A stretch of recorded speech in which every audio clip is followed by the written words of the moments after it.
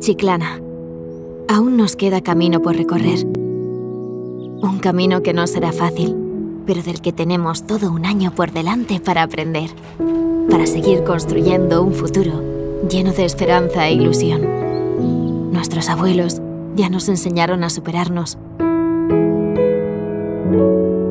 Poco a poco, vemos esa luz al final del túnel. No olvidemos que nuestra responsabilidad es nuestra mejor arma. Mientras tanto, aprendamos a sonreír con la mirada. Nuestra chiclana volverá a brillar con fuerza.